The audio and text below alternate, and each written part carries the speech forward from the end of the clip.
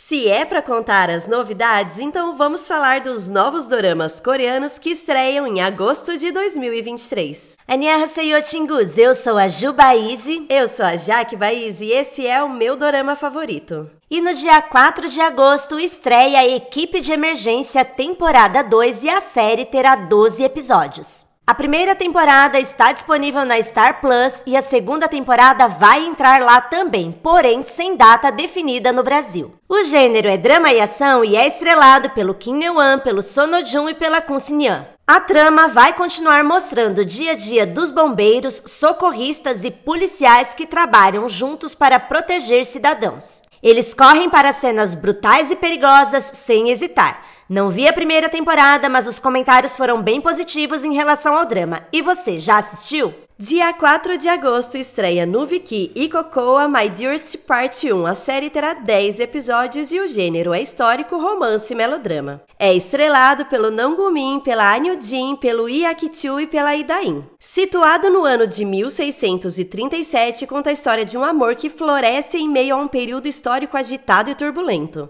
Teremos um homem aparentemente alegre, mas que na verdade é alguém complexo e misterioso e que esconde um segredo profundo e obscuro. Ele conhece uma jovem adorável e cheia de confiança. Ela é filha de uma família nobre e, ao se apaixonar, vai crescendo como pessoa. Sinto que teremos um drama histórico gostosinho para chamar de nosso. Dia 7 de agosto estreia no Viki no Cocoa The Elegant Empire, um novelão que terá 100 episódios. O gênero é comédia e melodrama e vai contar a história de amor entre uma mulher e um homem que buscam vingança para recuperar a justiça e a família perdida que foi negligenciada. É estrelado pela Han Ji-won e pelo Kim Jin-woo. Dia 9 de agosto estreia Moving. No Brasil vai estar disponível na Star Plus, mas sem data definida. A série terá 20 episódios. O gênero é ação, suspense, mistério e ficção científica. Três estudantes que frequentam a mesma escola e são aparentemente comuns, na verdade possuem habilidades especiais herdadas de seus pais. Teremos uma garota super atlética que é capaz de se recuperar rapidamente de ferimentos graves como tiros ou facadas.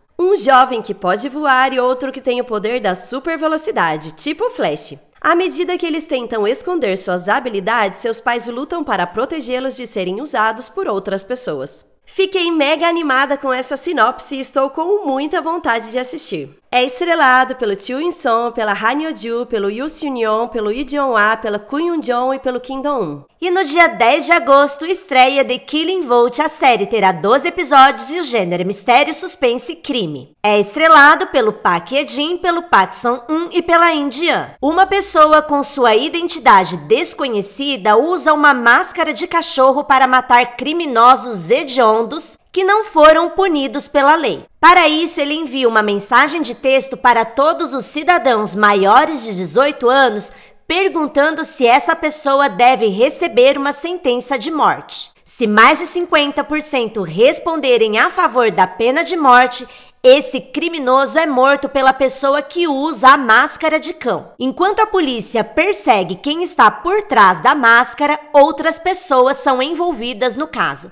E aí, você vai assistir? Dia 11 de agosto estreia Cold Blooded Inter. A série terá 12 episódios, o gênero é comédia e drama. É estrelado pela Lamiran e pela On Ji-wan. Teremos uma mulher que trabalhou duro como comerciante, mas que ao ter uma criança largou o emprego para se dedicar à criação de seu filho. Anos depois, ela quer retornar sua carreira profissional, mas luta para conseguir um emprego. Até que um dia, em uma entrevista, ela reencontra uma pessoa que já trabalhou com ela em outra empresa, mas que agora é diretora de equipe de planejamento de produtos. Como líder, ela decide contratar a antiga colega de trabalho com a função de estagiária, oferecendo-lhe uma proposta doce, mas também cruel. Parece que vai ser daquelas comédias que nos faz dar boas gargalhadas, mas ao mesmo tempo em que retrata as dificuldades em se restabelecer profissionalmente. E no dia 12 de agosto estreia na Netflix Brasil Behind Your Touch. A série terá 16 episódios e o gênero é comédia, romance e mistério. Em uma cidade na vila rural teremos uma veterinária que tem a habilidade de ver o passado de animais e de pessoas ao tocar em seus bumbuns.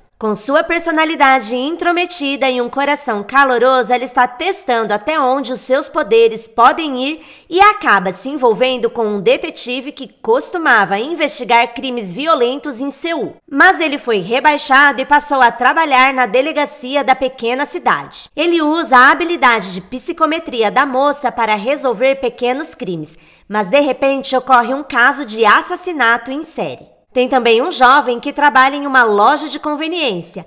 Ele tem um sorriso ingênuo e terno, mas é uma pessoa misteriosa. Amo comédia romântica com boas doses de humor e mistério, então já adicionei na lista. É estrelado pela Han Jimin, pelo Lee Min-gi e pelo Surro. Dia 18 de agosto estreia na Netflix Mask Girl, que terá sete episódios. O gênero é suspense, comédia e drama. Kim Momi é uma mulher que durante o dia trabalha em um escritório comum, mas à noite ela faz transmissões ao vivo na internet como a garota da máscara. Ela tem um colega de trabalho que tem complexo de inferioridade em relação à sua aparência e que nutre uma paixão unilateral por ela. Eles se envolvem num incidente inesperado que muda suas vidas. É estrelado pela Ko Yoon-jong, pelo An Jae-hoon, pela Nana e pela Yeon E no dia 21 de agosto estreia no Cocoa My Lovely Boxer. A série terá 12 episódios e o gênero é drama e esportes. É estrelado pelo Lee Sanyop e pela Kim So-hee. Segue a história de uma jovem que emergiu como boxeadora de elite aos 17 anos. Ela estava invicta em todas as suas lutas, mas de repente ela desapareceu e passou a viver uma vida longe do boxe. Três anos depois, ela conhece um agente esportivo sangue frio. Ele atrai jogadores talentosos e, antes que eles se esgotem, ganha muito dinheiro com eles, manipulando resultados em um curto período de tempo. O encontro dos dois marcará um ponto de virada na vida de ambos. Um drama com romance e alguns traumas a serem superados. Dia 26 de agosto entra na Netflix Brasil Caçadores de Demônios, temporada 2, que terá 12 episódios. O drama já estreou na Coreia e falamos dele no vídeo de lançamentos do mês de julho. Essa série está na minha lista e vou ver com certeza, pois a primeira temporada foi excelente e não espero nada menos que isso da segunda temporada. E no dia 23 de agosto estreia na Netflix Internacional Destined With You. A série terá 16 episódios e o gênero é romance e fantasia. É estrelado pelo Lu e pela Choboa. Um advogado competente, inteligente e bonito costuma ser o centro das atenções por onde passa. Porque será, né, gente? Quando o papai desenhou esse homem, ele estava inspirado, porque o cara é uma verdadeira obra de arte. No entanto, ele sofre de uma maldição, uma doença inexplicável que piora progressivamente e que por gerações percorreu sua família.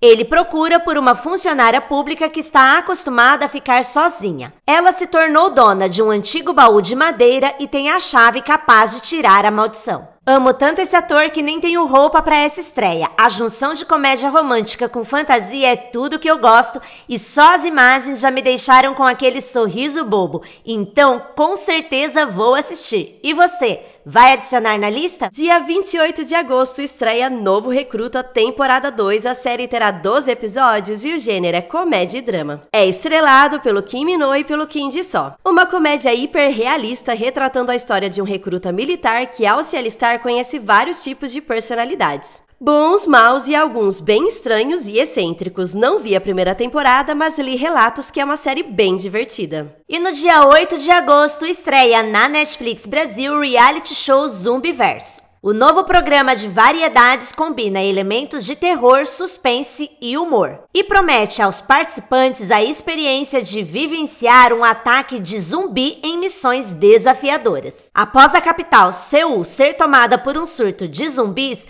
os sobreviventes irão atrás de comida, água, transporte e abrigo, quem for mordido terá que deixar o jogo. E aí, quais estreias despertou a sua curiosidade? Escreve nos comentários o nome dos doramas que você pretende assistir ou vai adicionar na lista. Se inscreve no nosso canal e ativa as notificações, curte, comente, compartilhe e nos siga também no TikTok e no Instagram. Um beijo! Kansamida!